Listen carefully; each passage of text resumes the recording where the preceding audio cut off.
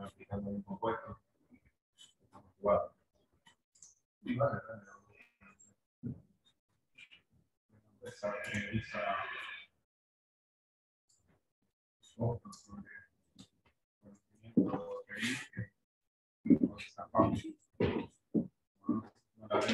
Asumir. Sí.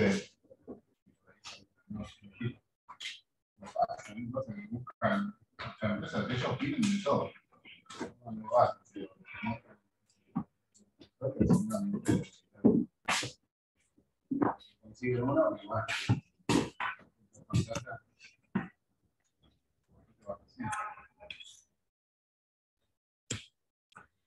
En la última clase habíamos hablado de Bluetooth. Bluetooth lo conocemos todos, lo usamos todos. ¿Tiene, ¿Ustedes le ven una aplicación del punto de vista ingenieril a Bluetooth? Sí.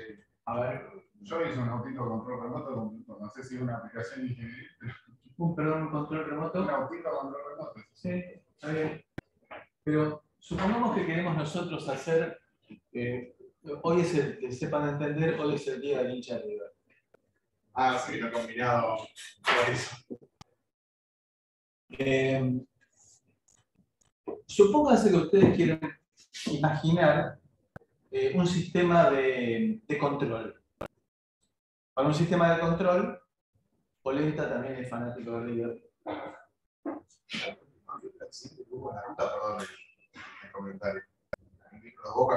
Sí, tengo entendido que reventó un neumático. Sé, hubo heridos graves, no sé si Un, mu- un muerto. Y bastante Eh, me parece que vamos a tener un- una serie de problemas similares con el tema de los neumáticos, ¿no? Sí, ahora Sí, sí, sí, Ayer me mandaron un video de, de Carrefour que al principio pensé que era, eh, que era fake, pero apareció después en los diarios. En Carrefour, eh, tres autos que le robaron, de Carrefour de Avellaneda, que le robaron eh, tres neumáticos. Ah, claro, sí, canción, pero- Sí, hay videos de las calles de provincia donde comen en las calles. Eso, yo viví en provincia durante muchos años y eso era habitual, pero en, un- en una playa de estacionamiento de un, un súper. Y que, bueno, el, el costo de hoy en día de los, de que los, de los, de la- de los neumáticos ha crecido exponencialmente, leído de oferta y demanda, ¿no? Eh, supongamos un sistema de adquisición de datos eh, para usarlo en control. Es decir, que tenemos que tener un montón de transductores distribuidos. Pensemos en un sistema interesante. Eh, ¿Lo implementarían con Bluetooth? Depende de la distancia. Supóngase La la central nuclear de, de Atucha.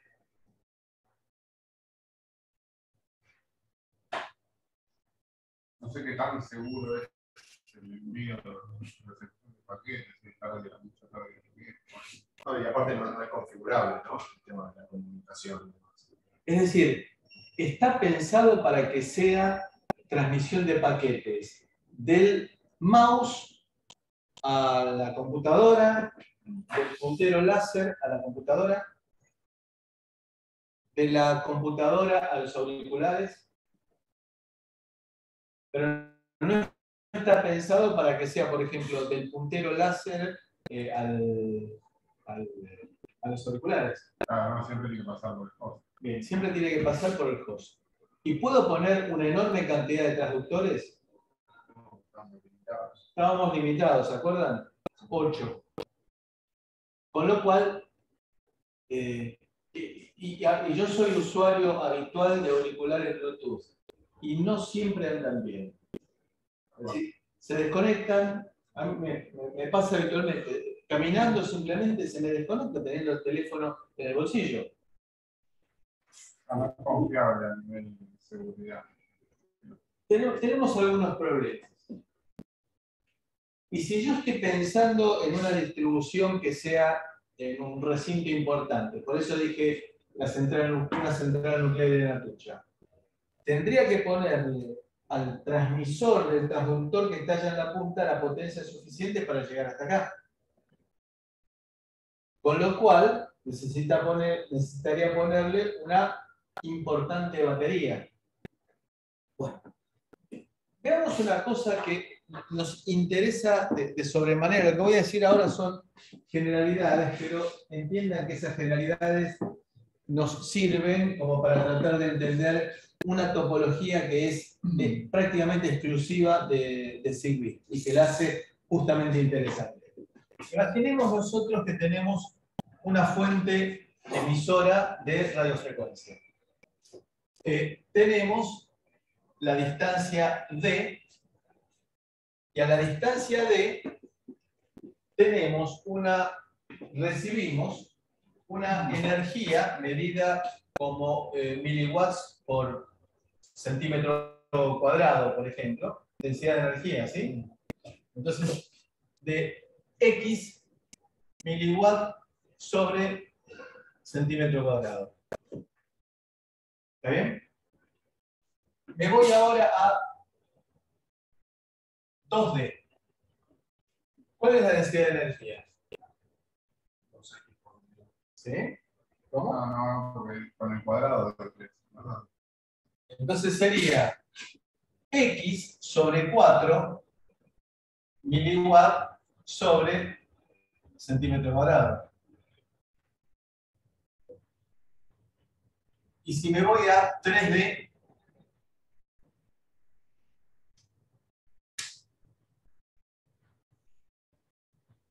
será X sobre 9 miliwatt sobre centímetro cuadrado. Con lo cual, vemos que la distancia nos complica mucho. ¿Por qué? Porque estamos irradiando en, eh, en los 360 grados. Bien. Con lo cual, estamos hablando del tema de que a medida que aumenta la distancia, tengo que aumentar la potencia en forma cuadrática para que se mantenga la conectividad.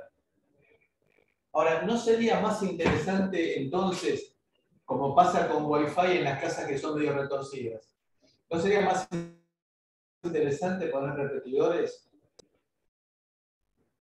Es decir, ¿qué pasa si yo me imagino una red constituida por repetidores? que reciban datos y que los retransmitan. Los requerimientos de energía que va a tener cada uno de los dispositivos que vaya colocando eh, son menores. Es decir, ¿qué pasa si pongo repetidores cada D metros? No voy a tener que aumentar la potencia a nueve veces, sino que voy a poner saltos y de esa manera logro ahorrar energía. ¿Por qué me interesa el tema ahorrar energía? Pensando en la autonomía. Dejemos de lado por el, por el momento la parte ecológica. Me interesa ahorrar energía porque de esa manera las baterías duran más. Ese es uno de los puntos en los cuales Zigbee se diferencia de Bluetooth. Puedo armar redes complejas voy a tener nodos de distintas jerarquías. Y voy a tener, es decir, no es como Bluetooth que los nodos se comportan en forma similar. ¿Por qué digo similar? Porque un nodo va a ser nodo auricular, otro nodo va a ser nodo puntero mouse. Pero no tienen esa habilidad de actuar como repetidores. Ese es un punto trascendente para Zigbee.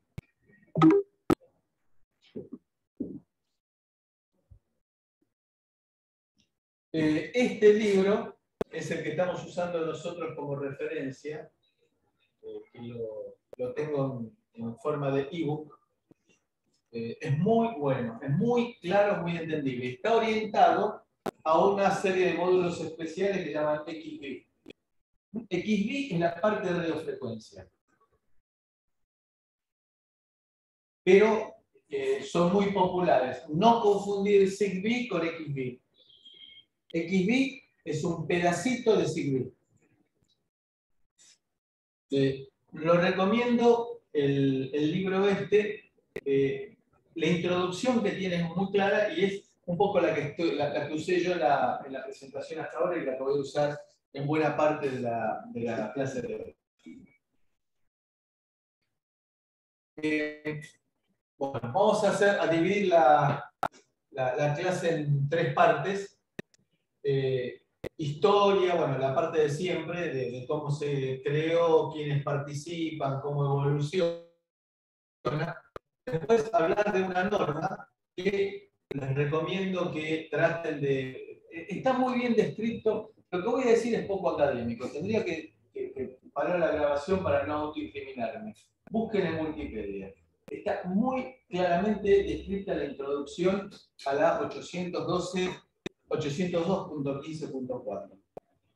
Es decir, por supuesto, es introductorio, pero eh, le permite a uno entender conceptos y, y.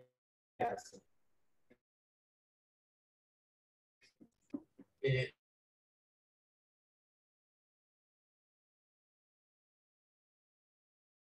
vamos hablar de si eh, eh, Hope eh, Spread Spectrum, es decir, espectro ampliado con saltos, que emisor y receptor cuando se conectaban por primera vez, eh, decidían la secuencia en la cual iban a ir saltando eh, frecuencias y que por lo tanto aquel que no tuviera esa clave de salto de frecuencia no entendía nada, veía todo como si fuera ruido. Eh, en la parte de Spread Spectrum lo vamos a empezar a ver la semana que viene cuando empecemos a ver el hora. Y ahí vamos a entender un poco el spread spectrum, qué significa, qué ventaja tiene. Acá nos aparece no el eh, FHSS, sino DSSS, que significa Direct Sequence Spread Spectrum, secuencia directa. Es otra, otra, otra concepción, otra idea. Eh, modulación eh, PSK de fase y QSPSK. PSK. Y seguridad, y después vamos a hablar un poco de los módulos y la configuración. Eh, La parte general, más genérica, porque después hay que empezar a leer cada uno, pero de cualquier manera, tratar de ver cómo encarar un proyecto con Zigbee. Bueno, eh, arrancó en el año 98, eh, porque para la parte de sensores, transductores y eh, no teníamos una solución por el tema solución aceptable ni con Wi-Fi ni con Bluetooth. Eh, a partir de ahí empezó a, con un conjunto de empresas que vamos a hacer una alianza, con la idea de que se pudieran interconectar distintos dispositivos de distintas empresas. Eh, y se creó en el año 2003 la norma 802.15 alianza, 15.4. Bien. ¿Todos saben lo que es el triple Tienen una idea de lo que es el triple Entre otras cosas, hace normas. Tiene un, programas de capacitación, guías eh, para la- la- las universidades, es decir, planes de estudio para, bo- bosquejos de planes de estudio para universidades, y eh, crea normas. ¿Ustedes se pusieron a pensar que nosotros podamos enviar datos de una computadora a otra computadora? Es una maravilla que no alcanzamos a entender bien cómo funciona, pero que es. Todo eso se debe a la normalización, a que existen normas que dicen eh, qué es cada patita de un conector de RJ45, por ejemplo, y que nos dice eh, la trama, es decir, los paquetes de datos. Los paquetes de datos no van al azar tirados un bit al lado del otro, sino que tienen que tener una cierta consistencia, una cierta estructura. Tiene que tener seguridad, tiene que tener CRC, tiene que tener un preámbulo que diga lo que viene ahora es esto, y que tiene que tener un postámbulo en el cual venga toda la parte de CRC, por ejemplo. Entonces, tenemos un paquete de datos y le tenemos que poner algo adelante y algo atrás. Eso está normalizado. ¿Normalizado por quién? Normalizado por el IEEE, con una norma que empezó hace muchos años, se llama 802. Pero claro, empezaron a aparecer después distintas normas, distintas subnormas de conectividad. Entonces empezó a aparecer la 802.2, 802.3, que eran distintas etapas de conectividad a través de redes. Después apareció toda la parte inalámbrica. Las normas vienen de la, de la época de la, eh, de la, de la época cableada. Entonces aparecieron normas inalámbricas y aparecieron entonces un conjunto de subnormas. La 802.15.4 es una norma que da un pedacito del protocolo ISOSI, que ahora lo vamos a mencionar nuevamente con un poco más de detalle, porque quiero recordar que la vez pasada habíamos dicho que no, no, tenían ustedes un manejo previo de lo que era la idea del protocolo ISOSI. Vamos a dar dos, dos imágenes, tres imágenes como para tratar de entender de qué se trata, pero en forma de dos imágenes, tres imágenes, nada, nada de eso, no lo pongan en el currículum, después me conocen el protocolo ISOSI, o no me involucren a mí. Eh, y vamos a ver que la 802.15.4 no soluciona algunos de los problemas de compatibilidad. ¿Qué significa eso? El eterno problema que tenemos los electrónicos, que queremos conectar eh, un producto de IBM con un producto de Apple y con un producto de, ¿qué es eso? de, Hewlett Packard. Y que queremos que se conecte así. Si tenemos problemas para conectar el cañón con la computadora, se imagina lo que es conectar, si no está bien especificado, conectar distintos componentes, distintas piezas de distintos fabricantes. Entonces, la norma esta, a, través de la alianza CIVI, nos permite obtener algo que sea bastante consistente e importante para el ámbito industrial, que es hablar de sistemas de sensores distribuidos. De hecho, nuestra vecina del otro la pared, se graduó como doctora utilizando justamente sistemas de sensores inteligentes. Ese fue su tema de graduación de doctorado. Bueno, entonces, en el año 2004 se aprueba Zigbee. ¿Se aprueba por quién? Por un conjunto de empresas.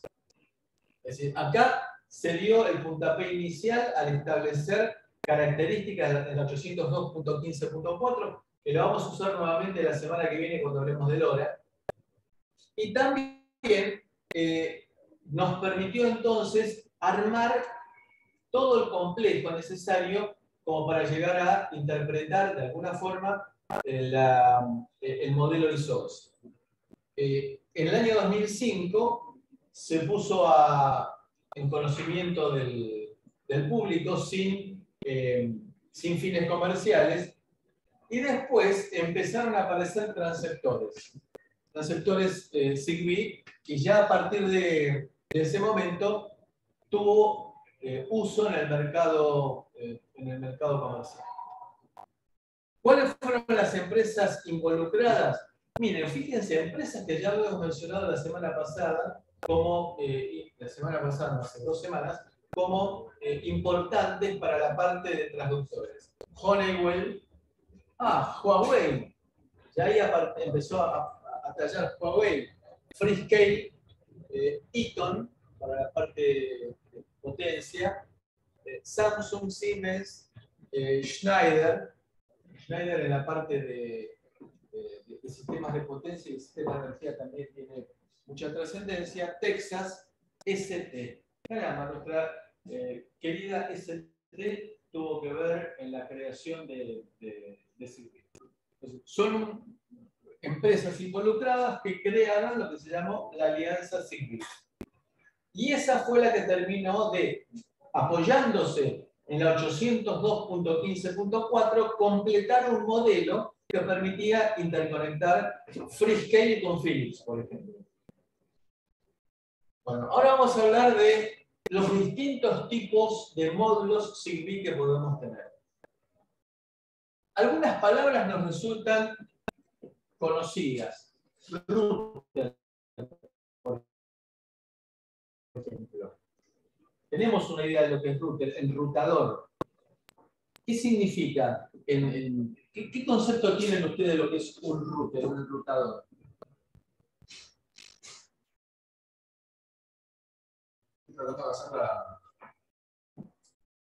porque mi concepto también lo tenía como, como si fuera coordinador, pero veo que no, porque acá está haciendo la distinción. ¿Cómo que direcciona para qué lado la comunicación? Es decir, por ejemplo, toma un paquete y lo envía para que llegue al destino. En nuestro caso, por ejemplo... ¿Podría ser la repetidora que estamos comentando? Podría ser la repetidora, pero repetidora inteligente. Porque eh, no, no sería bueno que el paquete que me envía se lo mande a todo el mundo.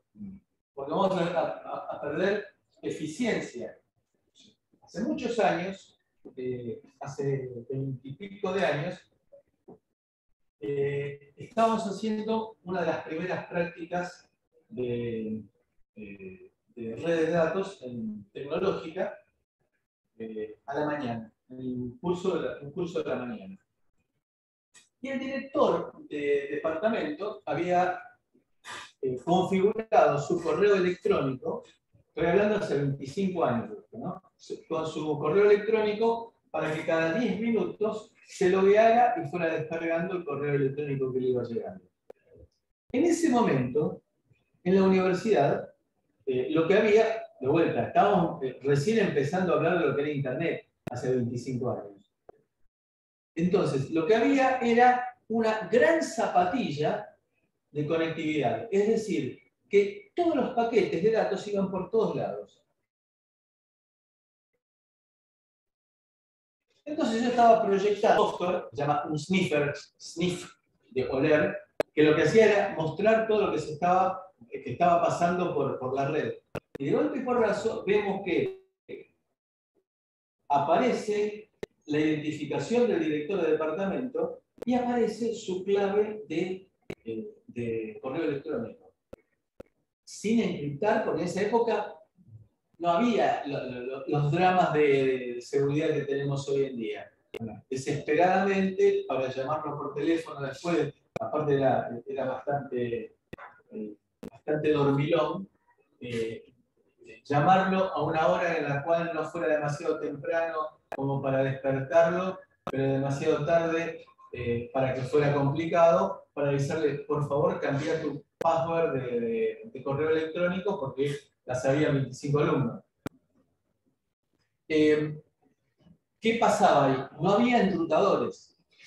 Entonces, se perdía un montón de, de, tiempo en que toda la información fuera a todos lados y cada una de las computadoras dijera, ah, no, no es para ti, ¿para qué me molestas? Entonces, un router lo que hace es ver, tiene, un mapa, algo así como eh, Google Maps, que me muestra eh, el, tránsito, o, Waze que me muestra el tránsito sobre una, eh, un, mapa de la ciudad en la cual me estoy moviendo. Entonces, lo que hace el enrutador es, me llega un paquete que tiene que ir para allá. Entonces, se lo voy a mandar para allá sin eh, dirigido directamente al cable que va para allá. Cuando digo cable, significa conexión en forma genérica, fibra óptica, radiofrecuencia, lo que sea, y no para todos lados. De esa manera, lo que hago es enrutar los paquetes dándole inteligencia. ¿Qué pasa si se corta uno de los cables? se tiene que hacer una reconfiguración automática, ustedes seguramente no se van a enterar, una reconfiguración automática para buscar un mejor camino. ¿Y por qué lo recalco esto? Porque lo vamos a usar en unos minutos.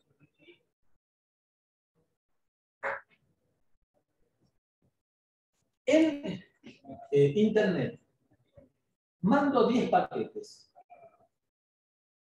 desde acá a, qué sé yo, a la, al Massachusetts Institute of Technology. Esos 10 paquetes que yo envío, todos van a seguir el mismo camino? Buena pregunta, ¿no? Todos juntos en el Sí, mismo tiempo. uno a continuación del otro. No sé con qué frecuencia puede llegar a cambiar el recorrido. Porque en el caso, como visto con usted, como que en, fuera en tiempo real se va calculando la mejor ruta por el tiempo que demora en llegar al destino. No sé, en ese instante, en, vez de paquete se puede llegar a cambiar. Fue el primer, se determinó cuál es el mejor camino desde la Universidad de San Martín al Massachusetts Institute of Technology. Que de paso comento que eh, a 100 metros a la redonda en el campus, eh, hace 7, 8 años, 8 años eh, tiene Wi-Fi con una potencia descomunal, libre, sin problemas eh, y que abierto para todo el mundo. Es decir, todo, el, todo el campus tenía eh, acceso a Internet eh, sin, sin ningún tipo de inconveniente. No, no tenían que poner un, un router especial, un, un hotspot eh, de, de Wi-Fi. Entonces, determino en este momento cuál es el mejor camino. El mejor camino va a ser, por ejemplo, de, acá a San Pablo, de San Pablo a Bogotá, de Bogotá eh, a Miami y de Miami a Boston. ¿Bien? ¿Por qué? Porque en este momento me dieron ese mapa, tengo el Waze que me dice cuál es el mejor camino. ¿Qué pasa si justo, como hay una- un huracán en, en Miami, eh, empiezo a tener problemas de conectividad en el nodo que está en Miami? Cuando voy a mandar el segundo paquete, justo en ese momento empezó el, el ventarrón y en lugar de mandármelo a Miami, me lo manda a Texas. Y después sí, hasta Boston. ¿Cómo hago en Boston? Son distintos caminos, distintos... ¿Cómo hago? Bueno, ahí viene justamente uno de los grandes éxitos de, toda la, la parte normativa y de- del modelo ISOSI. Esto es para ir creando expectativas. Ustedes cuando vean el modelo ISOSI, ¡ah! Van a tener que decir ¡ah! Cierre. Eh, cada paquete tiene un número. Entonces, el receptor tendrá que ir armando los paquetes, digamos, el, paquete general, el paquete de datos, de, de acuerdo con la secuencia. Entonces, puede ser que el paquete que fue por Texas va a tardar un poco más en llegar, supónganse. Pero en el receptor voy a ver que viene el paquete 127, espero el 128 y después me llegará el 129. Supónganse que el 128 pegó un camino distinto, tarda más.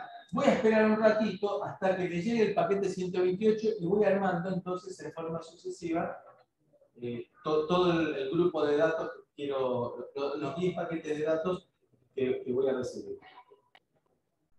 Lo cual se dan cuenta que se requiere inteligencia. Entonces, los enrutadores toman paquetes y los reenvían, pero con inteligencia. Por ejemplo, ustedes cuando dicen, cuando entran en Google, ustedes dicen google.com. Y ese Google es un nivel conocido. ¿Cómo es que, que- que se maneja google.com? Con la dirección. Claro, cada dispositivo va a tener opción. ¿Se acuerdan que habíamos visto.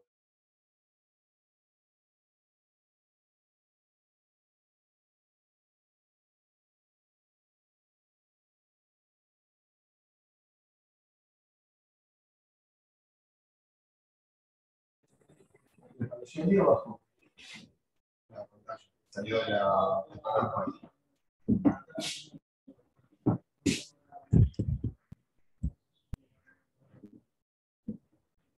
Eh, entonces, decía, la dirección de la página en un el, número IP. Y eso están distribuidos por todo el mundo. ¿Puedo colocar yo una dirección, un, nodo mío en esos, eh, en esos traductores? Sí, lo puedo hacer. De hecho, tenemos el, nodo LoRa, lo tenemos incorporado. Si yo puedo acceder desde mi casa al nodo LoRa que tenemos acá, al, al eco LoRa que tenemos arriba del la cluster. ¿Por qué? Bueno, porque la Universidad de San Martín creó un nodo propio eh, dentro de toda esa estructura. Entonces, tengo en distintos lugares del mundo repetidores de, eh, perdón, repetidores, traductores de, de, letras a números IP. Y que tienen que estar todos sincronizados a través de una organización. Y no cualquiera se puede meter, porque si yo llego a, interferir o mandar una macana eh, en uno de esos traductores, se me arma un gran despelote general. Entonces tienen que estar contra super protegidos y tiene que haber algún eh, protocolo por el cual se le va diciendo actualiza este nodo, vos también, vos también, vos también, a lo largo de todo el mundo. Eh, entonces, nosotros vamos a necesitar obligatoriamente que en toda red Zigbee exista un coordinador. Es mandatorio que haya un coordinador. Uno solo. Uno solo.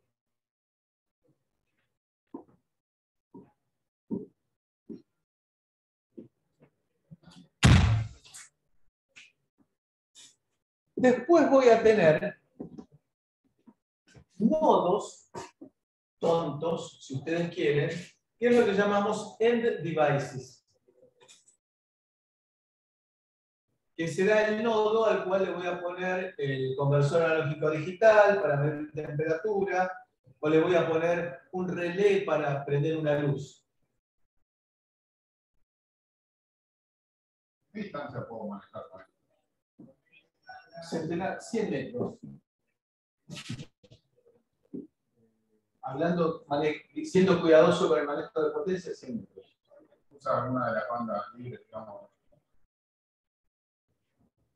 Eh, sí, sí, sí, las ISM, ah. que son la instrumentación científica y medicinal, llama ISM, que son libres. Eh, tengo varias alternativas. Hay una banda que es universal libre, que es la banda de 2,4 GHz. Pero ahí tengo ya, teníamos Bluetooth, tenemos Zigbee, tenemos Wi-Fi. ¿Podemos poner Zigbee? También podemos poner Zigbee. Hay otras frecuencias que tienen eh, mejor comportamiento para atravesar paredes, por ejemplo. Ya no tenemos que tener eh, el, dispositivo a la vista, el dispositivo receptor con el cual nos queremos comunicar a la vista, sino que puedo atravesar paredes. Y en todo el mundo existen distintas ISM, bandas ISM. Por ejemplo, en eh, Asia, 433 MHz. Acá también. A ver, ¿qué espera que yo le conteste? Estamos en la Argentina. Sí, se usa. Eh, cuento un par de anécdotas. Hace unos años, eh, la Universidad de San Martín estaba haciendo relevamiento de eh, relevamiento del espectro electromagnético que lo había contratado la Secretaría de Comunicaciones. Y en el interior se encontraba, en las provincias, porque con razón se, ofenden eh, los, amigos de las provincias, si lo llamamos interior, y dicen ustedes que son el exterior, en el en el Gran Buenos que son el exterior, bueno. Eh, en las provincias se encontraban, por ejemplo, que había canales de televisión que para sus enlaces utilizaban bandas que estaban reservadas para telefonía celular. Eso creo que pasa acá también.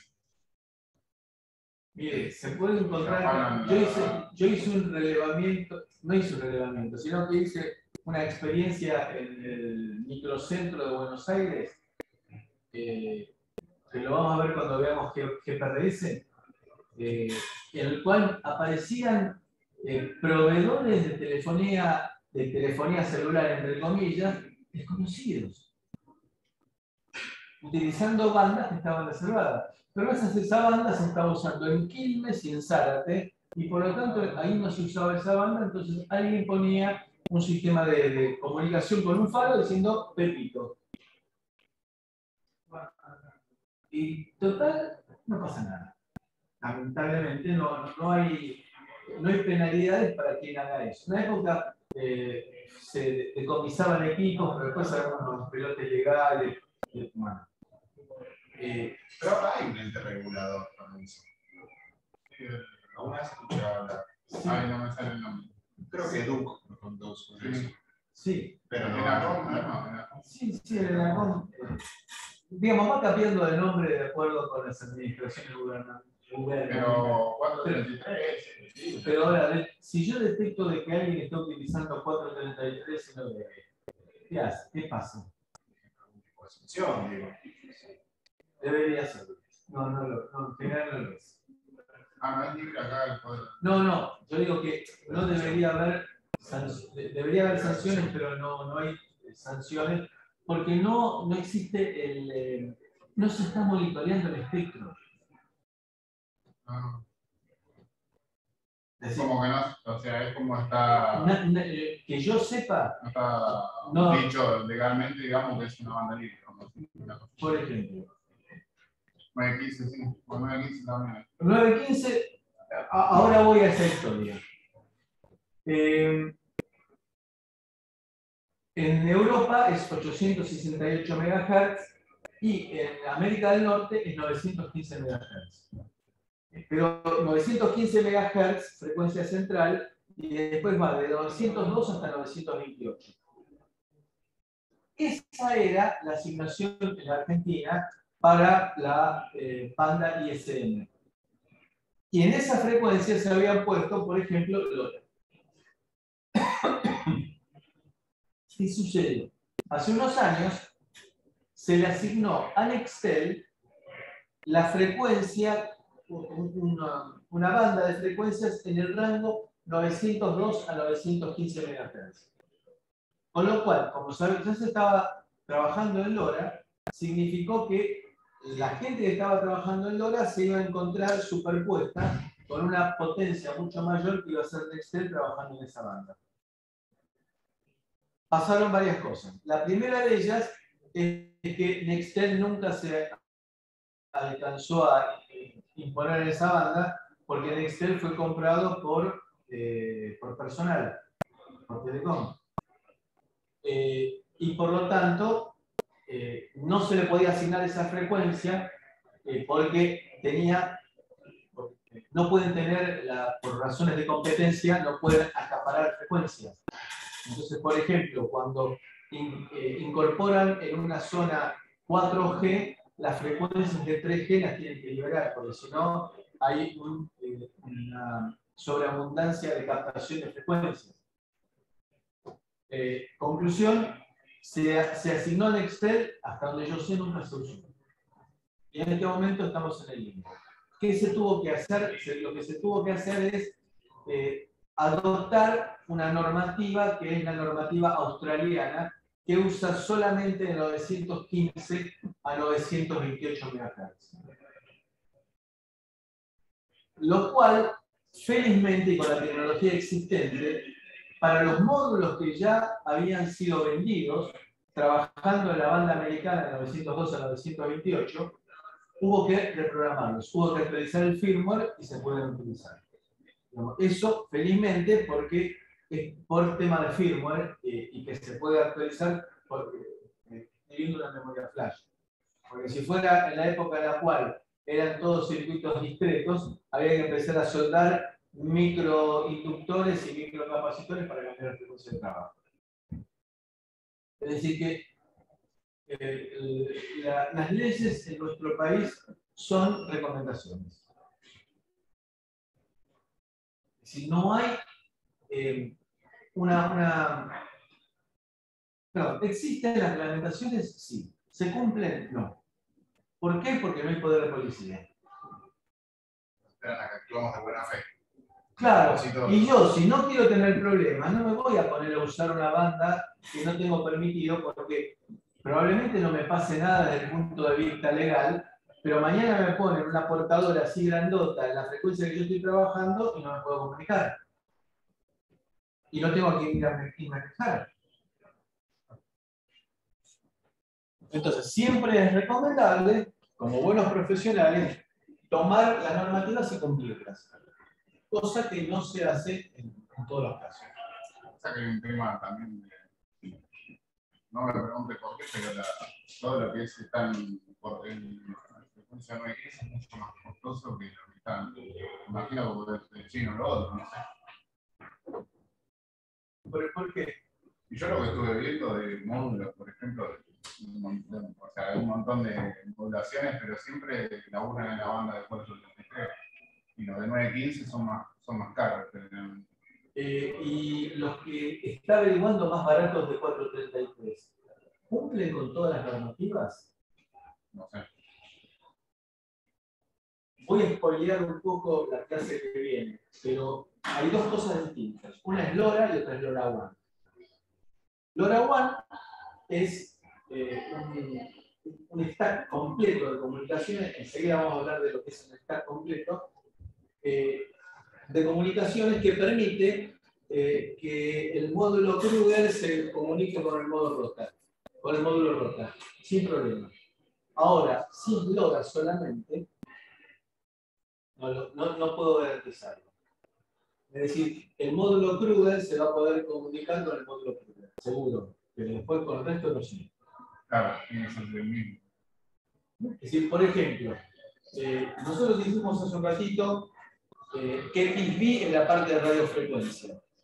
Entonces, yo puedo hacer un enlace de radiofrecuencia entre dos módulos XB de manera que actúen como un caño. Un caño significa que le mando algo de este lado, llega de este otro lado y lo escupe directamente, convirtiéndolo a RS232, perdón, a, serie común, no RS232, a serie común y lo, lo, y lo distribuye, es decir, actuó como un caño. Solamente para eso. No puedo darle instrucciones de inteligencia a los dos módulos que se están comunicando. No le puedo decir, por ejemplo, cambiame de frecuencia de trabajo, de canal de trabajo, sino que es radiofrecuencia en 915.2 comunicado con 915.2 MHz. Punto, chao, listo. ¿Está la idea? Entonces, ojo, cuando uno compra un módulo, tiene que ver qué características tiene. Es decir, si cumple con toda la normativa o me sirve para comunicar en radiofrecuencia de los módulos. Sí, todo depende de cómo sí. Por supuesto, por supuesto.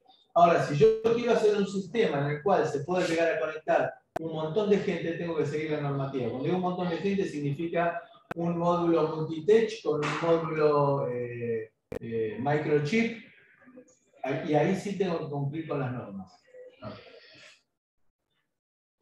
Hemos hablado del coordinador y de los módulos eh, finales, que son los módulos que adquieren datos o eh, actúan como actuadores.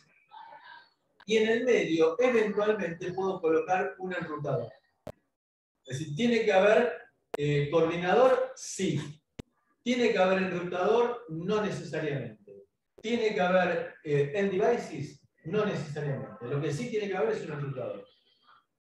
¿Por qué? Porque puedo conectar un enrutador con un, perdón, un coordinador con un enrutador y puedo comunicar un coordinador con un end device. Claro, pero por lo menos necesitas dos. Necesito dos. Claro, no. El que tiene que estar obligatoriamente siempre es el coordinador.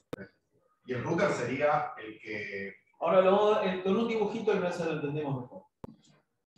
Bueno, de acuerdo a la funcionalidad, van a ser eh, dispositivos con todas las funciones posibles, con algunas funciones disponibles, y después el coordinador del Personal Area Network. El Personal Area Network significaba que es de acceso reducido, típicamente 100 metros a la redonda. Bueno, acá vamos a usar colores. El coordinador va a ser violeta. El enrutador va a ser color mostaza. El dispositivo final va a ser color verde.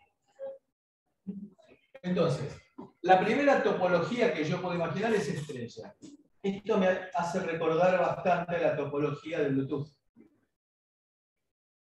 Entonces, fíjense, coordinador que se conecta con un router que se conecta con un dispositivo final.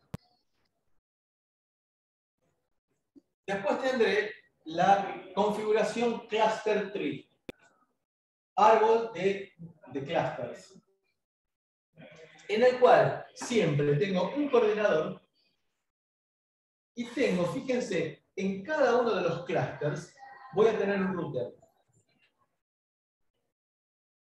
Por eso es que insistíamos antes en la idea del, eh, del router. Es decir, que toma un paquete que este end device le tiene que, que está midiendo temperatura, por ejemplo, le tiene que decir a este otro end device, que es el que activa el calefactor, pero tiene que pasar a través del router, del coordinador, de otro router y llegar al dispositivo final. Lo cual, cada nodo tendrá su dirección. De la misma manera que cuando yo conecto una computadora a una red, se arma todo un proceso de identificación. Cada placa de red de una computadora tiene una dirección propia, se llama MAC address, dirección MAC, Media Access Control. Entonces, nuestras, nuestros módulos tendrán una dirección también. Pero hay un punto en el cual yo no voy a tener que conocer la MAC address de la placa de red de la computadora, porque sería de vuelta conocer una chorrera de números que no tiene sentido que me las acuerde. En el proceso de comunicación, de, conexión, eh, se va a comunicar con el, el enrutador que está vinculado a esta computadora y va a decir, bueno, yo soy el número este. Ah, bueno, a partir de ahora te vas a llamar vos PC eh, Lab 401. Y a mí me va a resultar mucho más fácil ubicar PC Lab 401 que una chorrera así de números hexadecimales. Lo mismo va a pasar en forma transparente para nosotros en una configuración cluster 3. Y después tenemos otra, y ahora Vamos a ver mesh. Mesh es red. Y acá nos aparecen varias cosas. En primer lugar, eh, ¿puedo utilizar estos routers como repetidores con lo que dijimos antes? ¿Cuáles? Los routers, los que están color mostaza. Sí, ahí parecería que. Exactamente. Lo que no me queda claro, profe, es debe haber una situación económica en el medio entre el router y el, end device. Porque veo en el cluster, por ejemplo, veo que hay dos ramas que no tienen end device. Sí. Supongo que esos últimos dos routers que finalizan en la rama están actuando, digamos, tienen una finalidad. La cuestión de por qué no emplear un end device ahí es una cuestión económica, porque tiene menos memoria, consume menos energía. Porque no es lo que yo le estoy requiriendo a, este nodo es una inteligencia que el end device no tiene. Es decir, ¿le puedo conectar un conversor analógico digital a este router? Sí. De hecho, probablemente sea el mismo módulo que en el end device, pero reprogramado distinto. O puede ser que el end device sea de menor consumo y de menor costo. Como que el, router me da ciertos alcances que capaz el device no. Claro, pero de vuelta, ¿puedo yo un eh, router programarlo como end device? Sí. Un end device, ¿puedo programar programarlo como router? No necesariamente. Normalmente los end devices tienen menores capacidades, eh, digamos, usan micros más baratos eh, y tienen menos prestaciones. ¿Contesté la, la pregunta? Ahora, eh, fíjense que la configuración cluster tree es bastante piola porque me permite colocar repetidores, separar redes, eh, vincularlas entre sí, pero ¿qué pasa si se me corta el enlace acá? Y deberías buscar la manera de que uno de los routers más cercanos comunique. ¿no? Si se me corta este enlace acá, todo esto me queda aislado. Claro, necesitas la- tener un esquema tipo Maya. Ma- El, el esquema tipo malla me da la posibilidad de redirigir el, el tráfico. De hecho, nuestra configuración de Ethernet, de Internet, también eh, permite redundancias para el caso de que falle algún nodo. Con lo cual, la más simple de implementar es la eh, estrella. Eh, eh, la que me resuelve un montón de problemas es la cluster tree porque me permite hacer repetición. Pero la más funcional y más compleja de implementar es la mesh. ¿Te dijo que nos permitía la de clusters? ¿Resuelve el problema porque permite? Re- eh, actuar como repetidor. Ah, O sea, la topología mesh. Supónganse ustedes que tengo un interruptor con el cual quiero prender esta lámpara.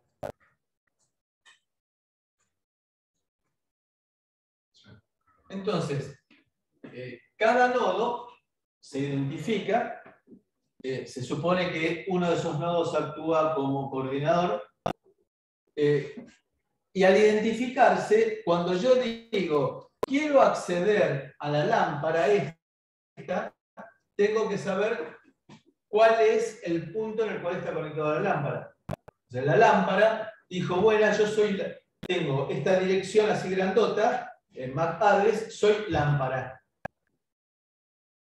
Cuando el interruptor dice, quiero alcanzar la lámpara, entonces se establece, como se tiene el, el Waze de todo el conjunto, se determina cuál es el camino más rápido. Recuerden, cada router tiene que tener capacidad de poder almacenar con quienes está conectado.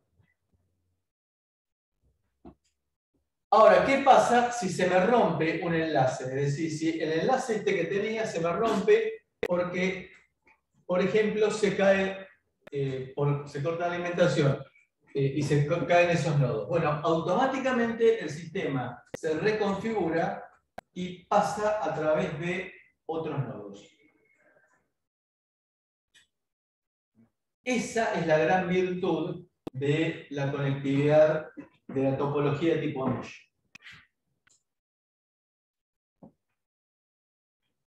Todo eso se debe programar, pero es, eh, no necesita, en el momento que se me caiga el nodo, no necesita la actuación del ser humano. Pero se supone que el ser humano lo programó anteriormente.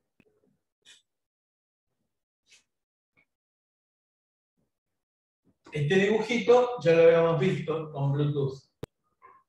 Recordemos entonces, Zigbee tiene baja tasa de transferencia, eh, el alcance es un poquito mayor que para Bluetooth, es decir, llega casi a 100 metros.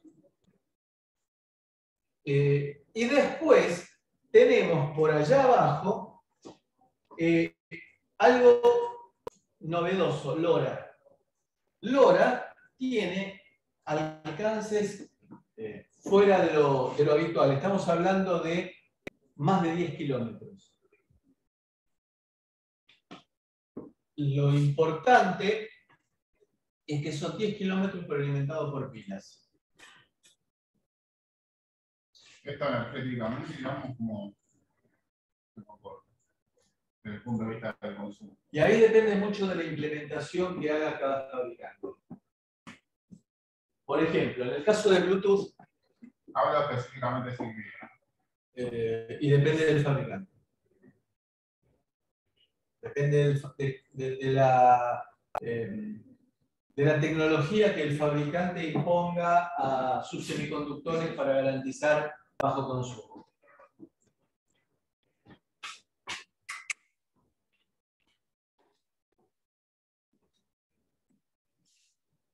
Bueno, vamos a hablar del modelo ISO-OSI. ISO es International Standard Organization, es decir, Organización de Estándares Internacionales. Y OSI es Open System Interconnection, es decir, interconexión de sistemas abiertos. ¿Qué quiere significar abiertos? Quiere significar que voy a poder conectar una computadora Asus con una computadora Dell. Lo cual, si uno lo piensa, es un milagro, porque uno no sabe qué es lo que tiene Google del otro lado. ¿Tendrá una Asus o una Dell? Yo me animaría a decir que no. Y sin embargo, ustedes pueden acceder a, a Google. Pensemos en algo más simple que eso. FTP es un protocolo de comunicaciones que me permite, por ejemplo, eh, si yo conozco la dirección del, servidor de la otra computadora, entrar en la otra computadora y ver el directorio. Cuando digo ver el directorio, es ver el directorio de la computadora. Y puedo acceder a archivos, si, estoy autorizado, acceder a archivos. Es algo que en general no le damos ni cinco de pelota a eso. Pero es muy piola cuando uno quiere, por ejemplo, hacer backup de un pedacito, copiarlo en una computadora remota. Y uno se pone a pensar, ¿estoy conectando una eh, PC corriendo Linux con una Mac que está en forma remota conectada? Sí. ¿Por qué? Bueno, porque hay de por medio el respeto de ese protocolo ISO. Por supuesto que todo tiene un precio. ¿Por qué? Porque a medida que voy subiendo, ahora vamos a ver qué cada, vamos a ver, vamos a mencionar un poco qué es cada una de esas etapas, de esos, pasos. Eh, le voy agregando preámbulo y posámbulo. Es decir, yo quería transmitir un paquetito de datos y termino, eh, a medida que voy subiendo dentro de la estructura ISOSI, le voy agregando más cosas. Es decir, voy encapsulando el paquete que tenía hasta ahora y le voy agregando más cosas, le voy agregando más cosas. Y después, cuando llego al receptor, al otro lado del mundo, le empiezo a sacar cosas hasta llegar al final al paquetito de datos que quería transmitir. Lo cual, de vuelta, parece que fuera milagroso. Pero es es tan milagroso que uno puede tener la satisfacción de comunicarse con cualquier cosa en cualquier lugar del mundo sin saber lo que hay del otro lado. Las primeras experiencias que yo tuve de este tipo de comunicaciones, que les puedo asegurar que cuando se lograron, se produjo un silencio sepulcral y después una explosión de júbilo, fue, eh, estábamos trabajando en el INTI y eh, existió en el año 88, 89 y 90 un proyecto originado en España para conmemorar los 500 años de la llegada de Colón a América. No, no le pongamos descubrimiento de América porque es, eh, es herir susceptibilidades hoy en día. En el cual, eh, a través de un instituto eh, que es eh, el Politécnico de Barcelona, eh, no, era de Barcelona, pero bueno, la Universidad de Barcelona, ahora me, olvidé el nombre exacto. Es espectacular.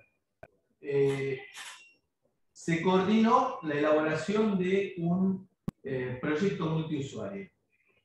Y si me acuerdo de la semana que viene, se los traigo porque lo tengo guardado. Que era fabricar un chip con eh, un único chip, por razones de costo, que tuviera eh, un integrado diseñado por Colombia, otro integrado diseñado por México, otro diseñado por Brasil, otro diseñado por Argentina. Por razones de costo, en lugar de hacer un integrado para cada uno de nosotros, hacían un solo integrado con un montón de pedacitos de cada uno de nuestros proyectos. Y que a cada uno de nosotros, ¿qué es esto? Eh,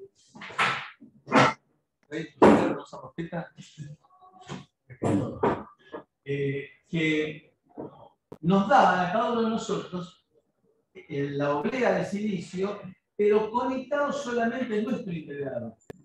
Estaba el integrado de todos, pero a mí me lo daban conectado con mi, sobre mi pedacito, sobre eh, mi diseño. Entonces, había que enviar a Barcelona el diseño del integrado, en VHDL. no, no, fue en VHDL porque todavía no se había popularizado, pero en la, configuración del, integrado. Lo primero que se nos ocurrió era enviarlos en disquetes, con el riesgo que significaba de que los disquetes, al pasar por eh, cualquier eh, medio de detección, eh, lo podían llegar a borrar. Entonces empezamos a, en ese momento no había WhatsApp, era por medio de llamada telefónica. Nosotros en el INPI teníamos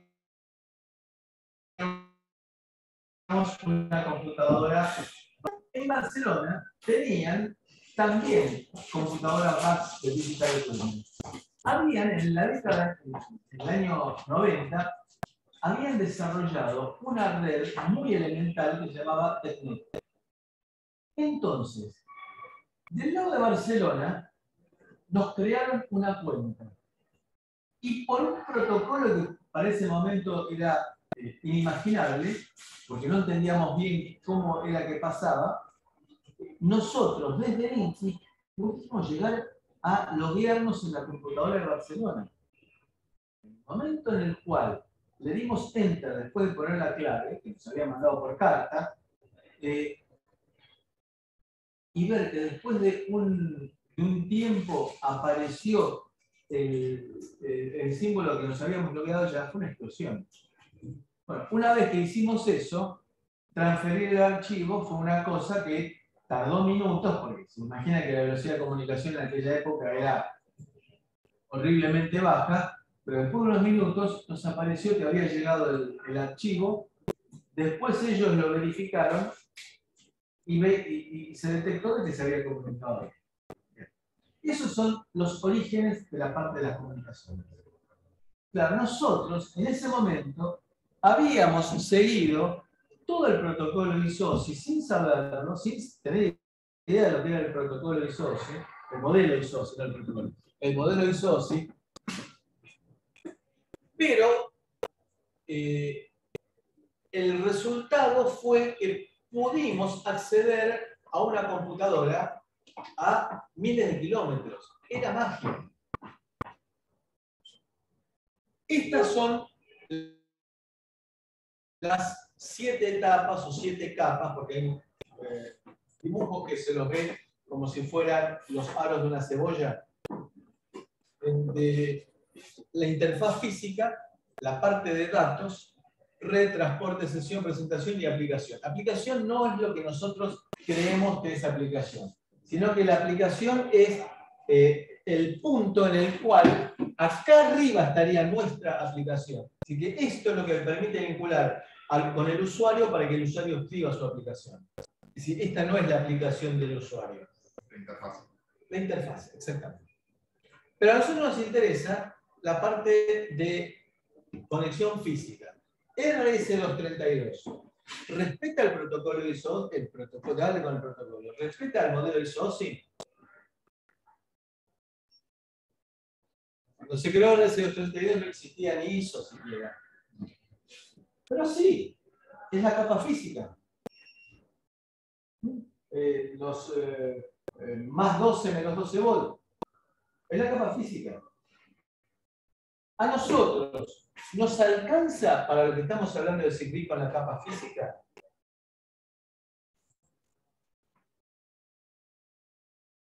¿Solamente? ¿Por qué?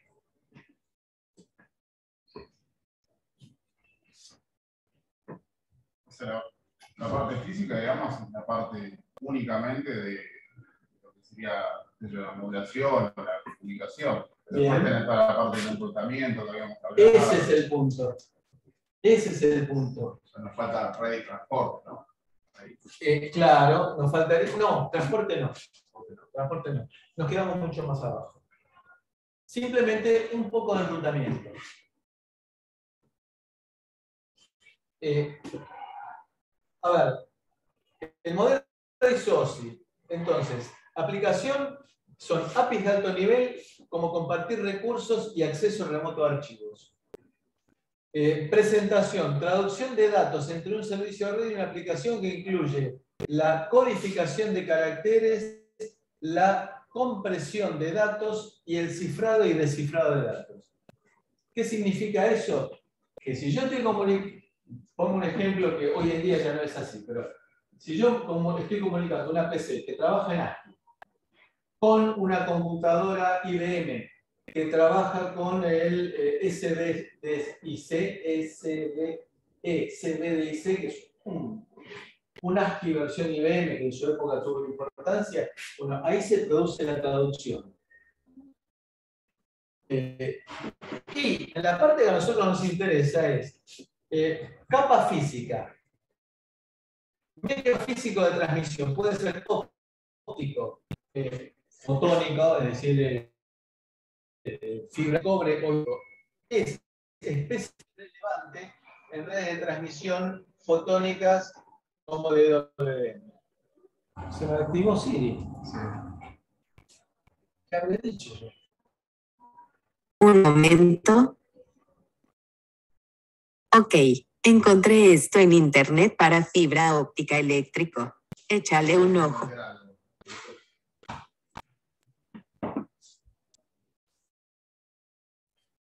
Gracias, Siri.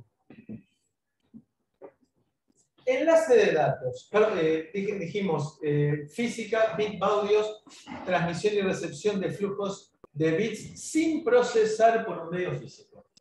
Esa sería la capa física.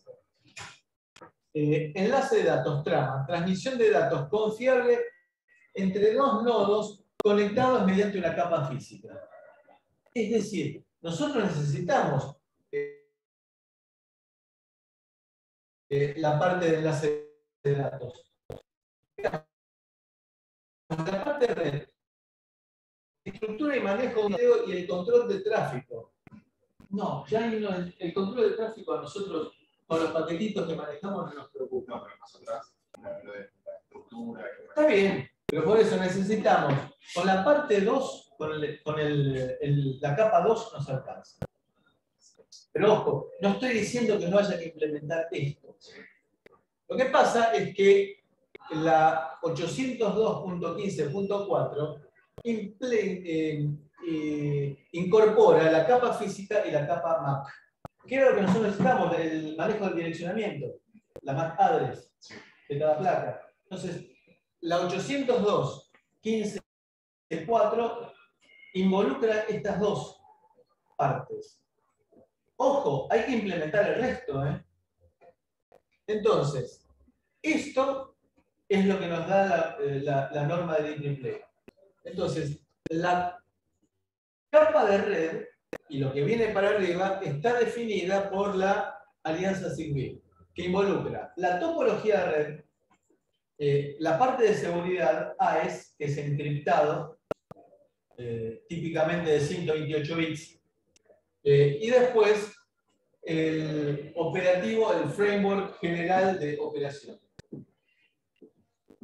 Por lo cual, nuestra implementación del modelo ISOSI está dado por la parte en azul que nos la da la 802.15.4 y la parte en color crema que nos la da la alianza Zigbee y la parte amarillita el, eh, el diseñador.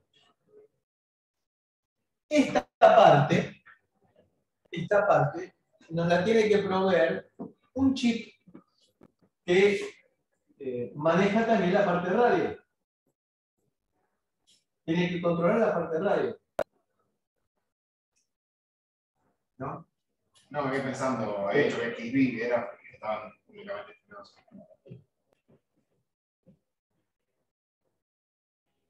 Con lo cual, entonces, recordemos, ¿eh? 802.15.4 maneja la parte física y la parte más, es decir, la parte de direcciones. Y el resto está implementado por eh, la alianza Zigbee. Vale decir que si me aparece la alianza Pepito montándose sobre la 802.15.4, puedo crear, crear entonces módulos Pepito.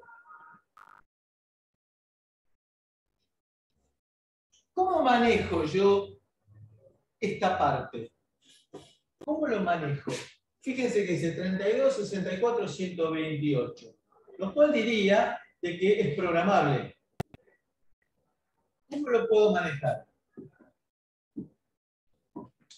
Como el usuario, digamos. Yo, diseñador, quiero, quiero te, imagino que tienen también comandos.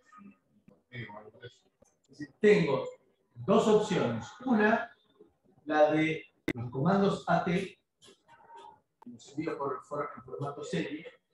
AT viene de la época de los modem case. Eh, los modem case son de la década del 90, modem telefónicos.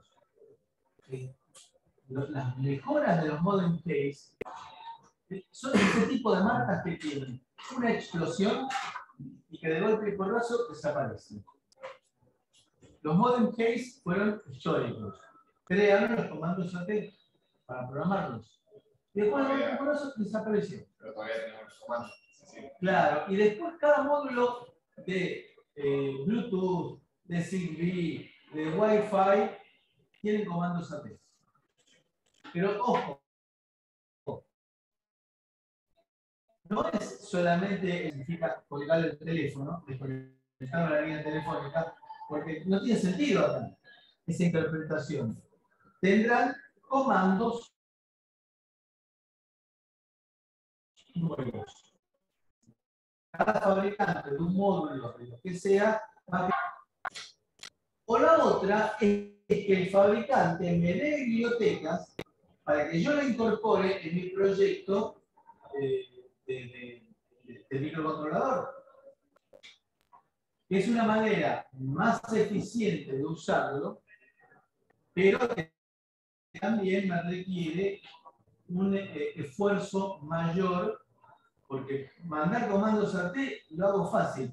Empiezo a armar strings en la memoria flash y le, mando a una función, a una tarea que se encarga de enviar por línea serie, le voy enviando punteros a los strings que quiero sacar fácil de implementar, es una pavada. No tengo que meterme con bibliotecas ni nada. Si no tengo que sacar por línea serie, por la WARP, tengo que sacar strings. Ah, punto, chao, listo. Tengo que ver eh, cuál es la solución más adecuada para mi proyecto. Todos tienen comandos AT. Bien. ¿Alguna pregunta acá? Capa física. La capa más baja del modelo se encarga de la topología de red y las conexiones globales entre el computador y la red, refiriéndose tanto al medio físico como a la manera que la información se transmite. Cumple con las funciones de especificar la información sobre el medio físico, tipo de cable, microondas, dice cómo es que se realiza la comunicación, en qué frecuencia se hace, si es inalámbrica.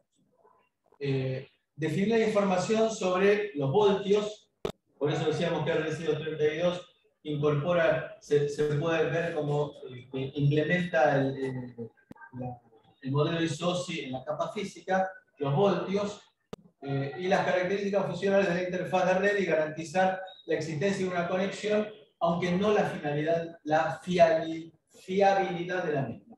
Es decir, si anda bien o no anda bien. Por ejemplo, supóngase que eh, armo mi módulo sobre la placa núcleo y me comunico con un módulo eh, eh. Lo voy a manejar por comandos AT. ¿Qué es lo primero que debería hacer? Antes que cualquier otra programación.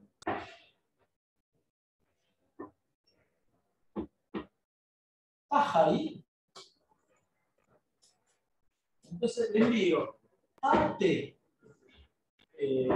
0D, 0D exa, que es eh, el retorno de carga que se utiliza como idea de string. ¿Y qué me tiene que contestar el módulo? Está bien, ok. Ok, ¿qué significa? La letra O y la letra K en ASCII. Bien, estás ahí, entonces ahí te reprogramo.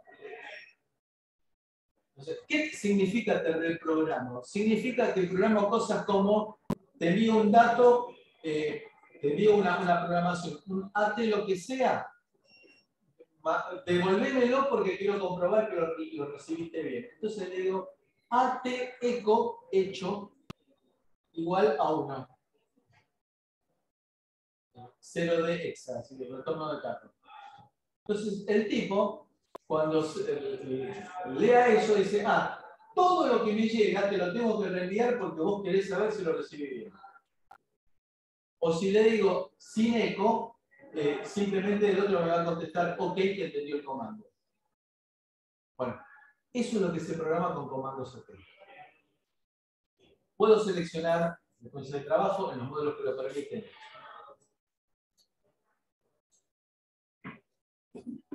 La capa de enlace de datos, que es la parte que nosotros usamos, se ocupa del redireccionamiento físico, detección de errores, acceso al medio y control del flujo durante la comunicación, siendo parte de la creación de protocolos básicos para regular la conexión entre los sistemas informáticos. Y acá recalcamos, yo puedo utilizar el módulo Zigbee como para que actúe como un caño, si yo lo programo para que actúe como un caño, lo que entra por un lado va a llegar al, al dispositivo destino tal cual del dispositivo de destino se tendrá que interpretar. O la otra es que yo lo programo para que agregue inteligencia en la comunicación, por medio de los comandos centrales.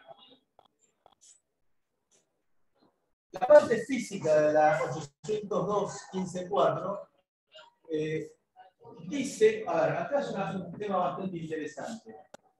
¿Cómo hago yo para comunicar dos eh, nodos dentro de una malla. Porque ahí tenemos un montón de dispositivos que están queriendo a comunicarse. En una red cableada, la cosa es bastante simple.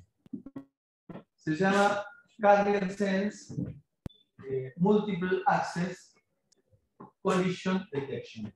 Es decir, detección de portadora, Carrier Sense, lo escribimos, carrier sense, collision detection,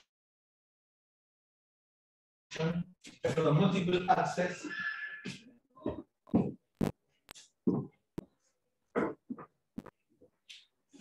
multiple access collision detection.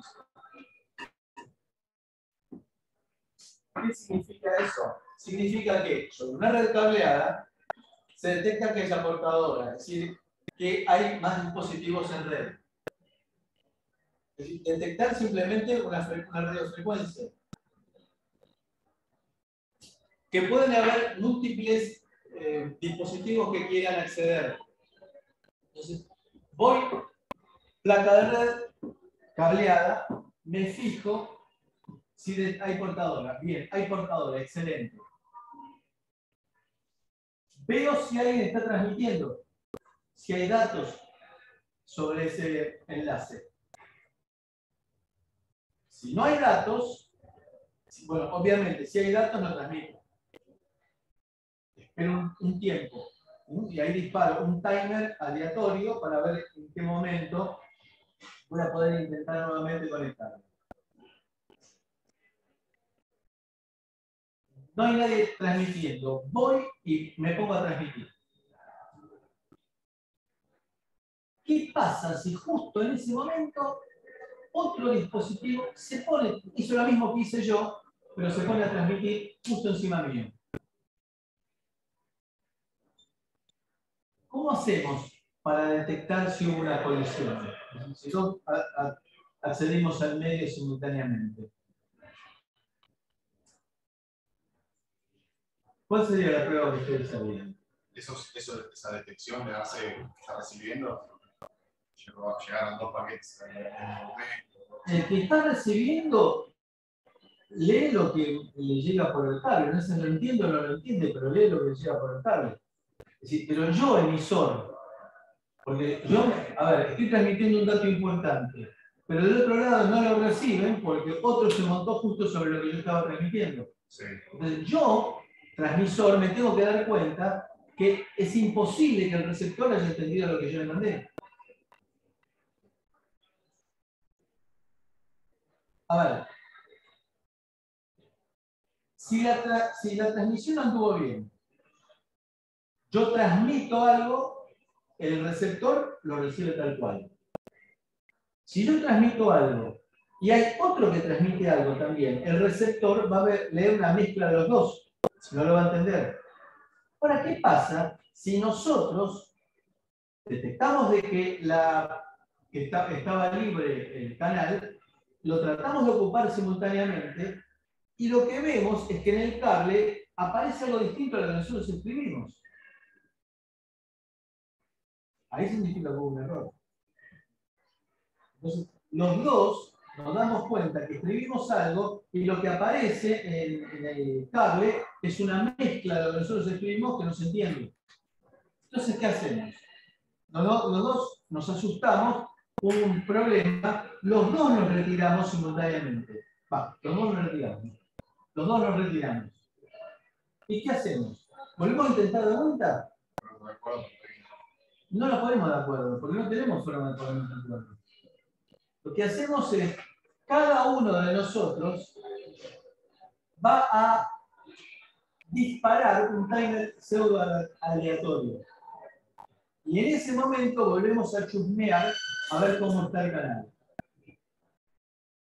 La probabilidad de que los dos vayamos nuevamente a acceder simultáneamente es bajísima.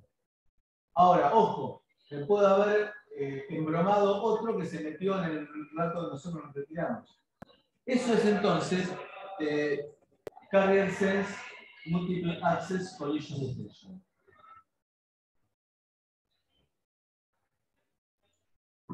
¿Se puede hacer eso en la red inalámbrica?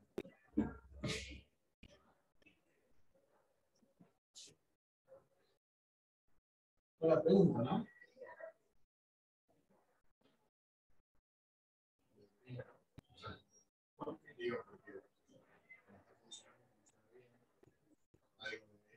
¿Y cómo lo implemento? Pensemos una cosa, hagamos la cosa bien complicada. Pongo una antena transmisora y al lado una antena receptora.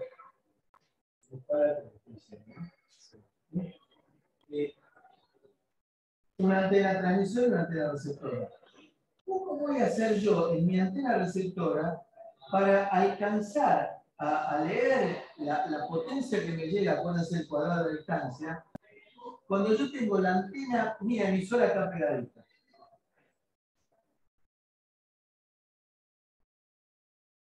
Entonces, el sistema este es para, eh, para topología cableada. Para topología inalámbrica aparece, fíjense, una sigla CA. ¿Eh? CSMA, usted mal la, la barra. CSMA, Collision Avoidance.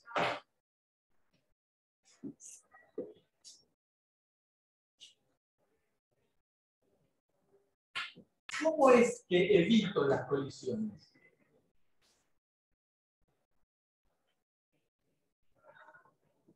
Acá, como tenemos una estructura jerárquica nosotros estamos proponiendo en CIGRE, yo nodo, digo, buenas, quiero transmitir. Entonces, yo nodo 1 quiero transmitir.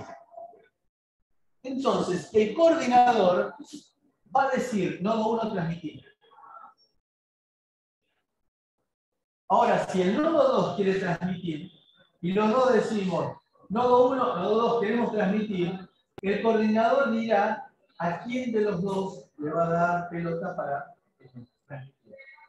Y automáticamente el que no recibió la, la autorización a transmitir, lo que hace es apagarse. De vuelta. Un timer pseudo aleatorio y volverá al rato inventado.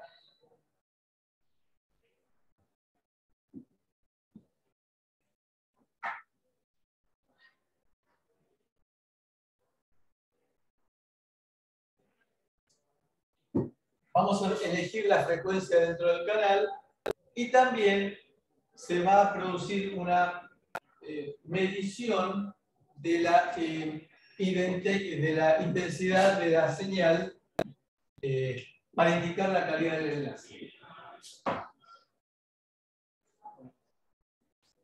está, tenemos, tenemos, por ejemplo, la posibilidad de utilizar interfaces de programación con los módulos que los fabricantes nos dan la forma en la cual se llaman a las APIs para manejar la transmisión y la recepción. O bien, comandos API. Entonces, ¿qué es? Eh, eh, esto lo vamos a dejar, lo vamos a ver bien en detalle cuando veamos LoRa la semana que viene.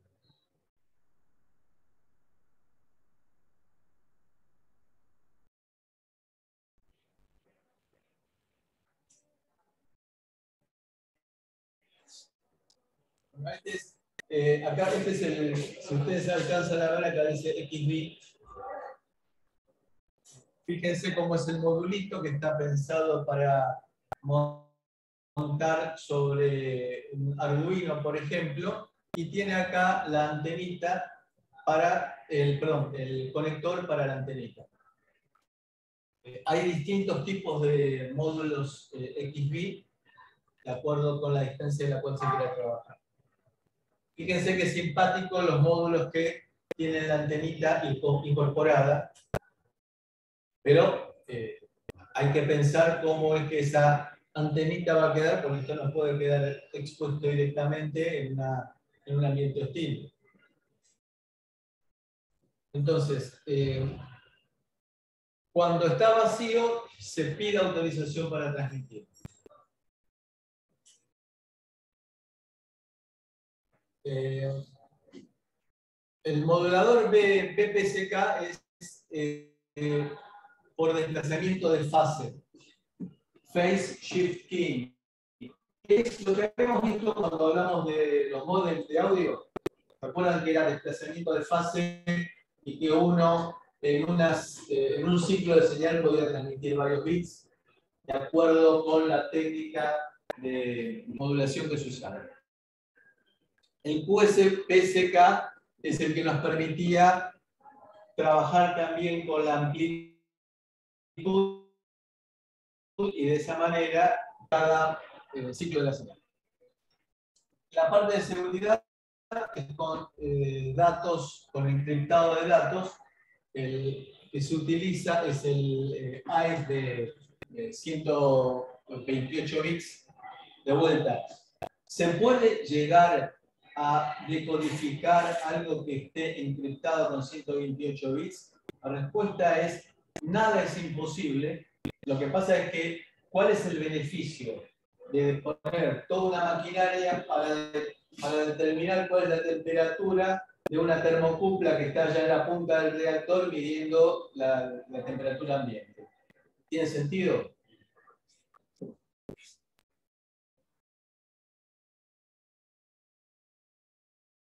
Bueno, eh, esto entonces es lo que vamos a ver la semana que viene con la parte de Lora, el spread spectrum. Listo, entonces. Cumpliendo con lo que vamos 2015.